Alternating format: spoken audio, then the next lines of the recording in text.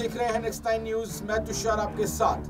दर्शकों, आपको बता दें, जिस तरीके से मध्य प्रदेश में 17 नवंबर को चुनाव होने, उसी को लेकर मध्य प्रदेश में लगातार एक के बाद एक जो सभी पार्टियाँ हैं वो अपनी रणनीतियाँ बनाकर जो है ज़मीन पर उतरकर एक दूसरे को साधने की और जनता के बीच अपना प्रभुत्व एक बार फिर से जमाने की कोशिश करती नज़र आ रही है। इसी कड़ी में मध्य प्रदेश के मुख्यमंत्री, भारतीय जनता पार्टी के नेता शिवराज सिंह चौहान जब जनता के बीच जाते हैं, मामा के नाम से वो इस वक्त काफ़ी ज़्यादा जाने जा रहे हैं और प्रसिद्ध हो रहे हैं मध्य प्रदेश में कि मामा ये स्कीम लेकर आए, मामा भांजियों के लिए ये लाए, मामा भांजों के लिए वो लाए। इस तरीके से वो अपने भाषण की शुरुआत करते हुए अपने आप को मामा दिखाते हैं। और आपको बता दें कि इसी कड़ी में जब मध्य प्रदेश में वो भाषण दे रहे थे तो उन्होंने कौरव और पांडव का ज़िक्र किया।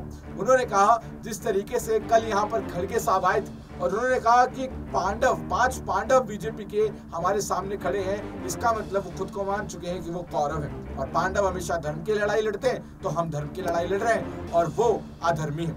इन तरह की स्टेटमेंट्स का इस्तेमाल करते हुए यहाँ पर कांग्रेस पर निशाना साधा। साथ ही कहा कि मैं किसानों भाइयों के लिए यहाँ पर नर्मदा का पानी लाऊँगा। कांग्रेस पानी कहाँ से लाएगी? कांग्रेस के राज में तो पानी खत्म हो गया था। और भी आगे कई बातें कहते हुए उन्होंने भारतीय जनता पार्टी के जो नेता है, उन्होंने कांग्रेस पर कई निशाने साधे। आपको बता दें, लगातार जिस तरीके से चुनाव का माहौल अब शुरू हो चुका है, चुनाव शुरू हो चुके हैं पाँच राज्यों में, जहाँ एक तरफ़ सात नवंबर को छत्तीसगढ़ और मिजोरम में चुनाव हुए पहले चरण के तो अब वहीं सत्रह नवंबर को छत्तीसगढ़ के दूसरे चरण के चुनाव होंगे और मध्य प्रदेश के चुनाव शुरू हो जाएँगे। ऐसे में सभी पार्टियाँ अपनी अपनी रणनीतियाँ बनाने में लगी हुई हैं। ऐसे में शिवराज सिंह चौहान का वो बयान आपको सुनवाते हैं जिसमें वो ये सब बातें करते नज़र आ रहे थे। सुनिए जरा। श्याम ने एक बात मुझे आज कही है कि मामा एक काम और कर देना कि नर्मदा मैया का पानी लेके आना। किसान भाइयों, मैं जो कहता हूँ, वो करता हूँ। और आज मैं आपको वचन दे रहा हूँ कि किसान के खेतों में नर्मदा मैया का पानी तो लेके आऊँगा।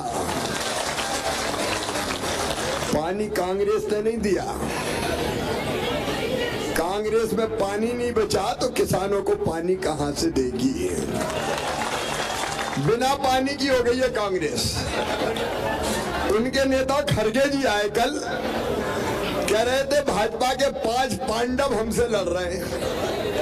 मतलब तुमने मान लिया कि तुम कौरव हो। पांडव लड़ते हैं न्याय की लड़ाई, अधर्म के खिलाफ लड़ते हैं और कौरव लड़ रहे थे स्वार्थ की लड़ाई। ये स्वार्थ, धर्म, अधर्म, न्याय और अन्याय की लड़ाई में, बताओ पांडव जीतेंगे कि नहीं जीतेंगे? भारतीय जनता पार्टी जीतेगी।